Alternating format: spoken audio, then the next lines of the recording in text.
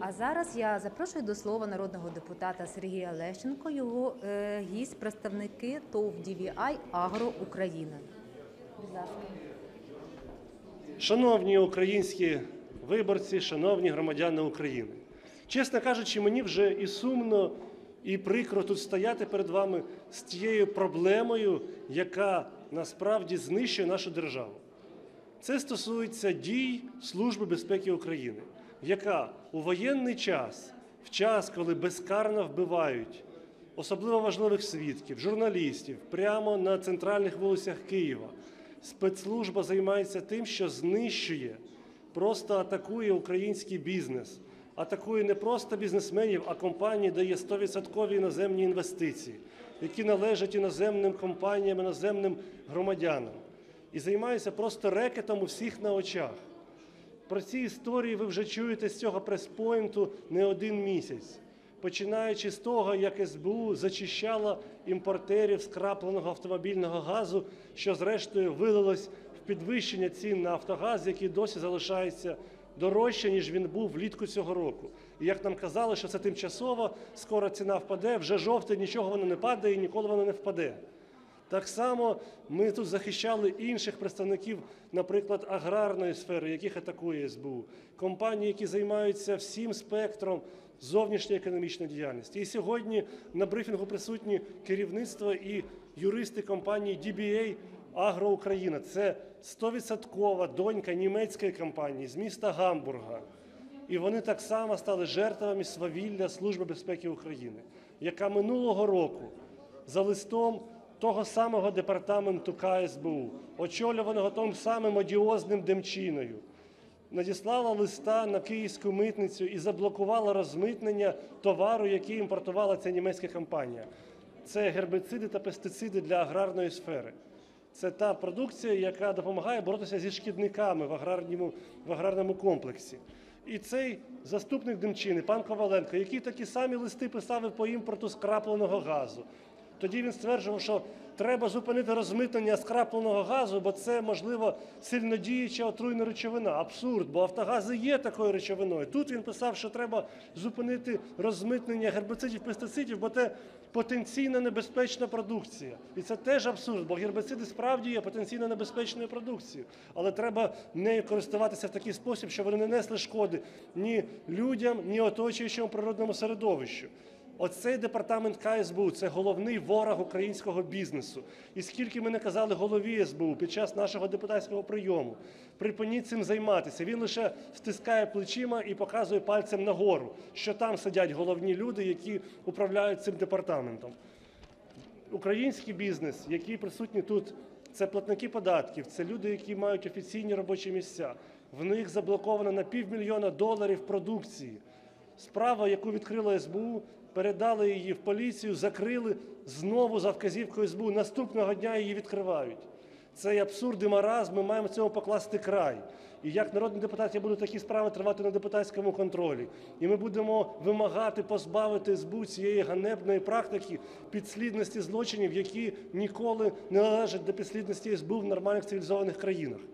Дякую вам за увагу. Передаю слово представникам компанії, які поділяться своїм горем. І замість того, щоб держава вклонилася їм в ноги за підтримку виробництва, за робочі місця, за податки, вони просто знищують приватний бізнес в Україні. Шановні панове, а моє прізвище Бойко, звуть Валерій Григорович. Я е, директор товариства з обмеженою відповідальністю ДВА Агро Україна, що є суб'єктом господарської діяльності е, на території України і фактично представництвом німецької компанії DVA Group. Е, Весною на восени е, весною минулого року е, е, Служба безпеки України заблокувала нашу діяльність, інкримінуючи порушення митних е, правил е, в Україні. Нічого не пояснюючи, заборонили розмитнювати препарати, а потім відкрили кримінальну справу. Е, Протягом певного часу кримінальне роз- е, розслідування проводилось, але е, було закрито за відсутністю е, жодних порушень. І ми працюємо завжди в правовому полі України. Мій досвід роботи з засобами захисту рослин, чим я займаюся зараз більше 30 років на території України. І виникла ситуація, що компанію практично блокують. Люди, які працюють в компанії, не мають можливості заробляти гроші, платити податки і виживати. Іноземний інвестор, компанія DVA Group, DVA Agro GmbH, е, це якраз той показник, які гроші вкладаються в Україну для того, щоб створювати робочі місця, щоб допомагати українським виробникам е, виборювати високі врожаї. Ми зверталися не один раз е, до голови Служби безпеки України, до різних е, структур державних, які б могли допомогти в вирішенні цього питання. І коли е, слідчими були закриті е, за е, відсутністю всякого злочину наші справи, е, Служба безпеки України починає направляти листи з вимо- вимогами продовжувати справу і не давати можливості працювати компанії. З цим звертаються з проханням і до депутатів Верховної Ради, і фактично до голови Служби безпеки України. Зверніть увагу на таке свавілля і допоможіть нашій компанії нормально працювати. Якщо є якісь претензії, ми готові вирішити, надати певні документи і працювати в нормальному полі. Е, Цим питанням займався е, посол е, і займається Німеччини в Україні. Зустрічався декілька разів з головою Служби безпеки України, але питання не вирішується. Я думаю, що це якраз є той показник, який не показує не в кращому світі інвестиційний клімат нашої України. Ми дуже надіємося на те, що питання буде вирішено швидким часом і правильно будемо позитивно в нашому адрес. Дякую. Шановні присутні, я Володимир Ткаченко, адвокат.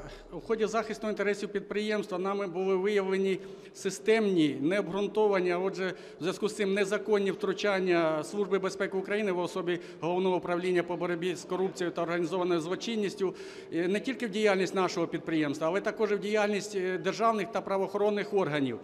Це, зокрема, полягає в тому, що за листом е, Губко з СБУ за підписом заступника керівника Коваленка е, на весною, весною минулого року до, підприємства були е, е, митними органами було фактично заблоковано е, розмитнення пестицидів, які були ввезені в Україну.